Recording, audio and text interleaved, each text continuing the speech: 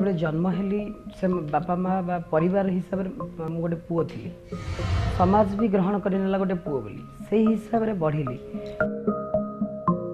ଦେନ୍ କ୍ଲାସ୍ରେ ପାଠ ପଢ଼ିବା ଟ୍ୟୁସନ୍ ସବୁ ଜାଗାରେ ପ୍ରଥମ ହେଇକି ବି ମୁଁ ଜାଣିନି କେତେବେଳେ ଗୋଟେ ମୋ ପାଇଁ ଶବ୍ଦ ଆସିଗଲା ଆଡ଼୍ ହେଇକି ମୋ ସାଙ୍ଗରେ କି ମାଇଚିଆ।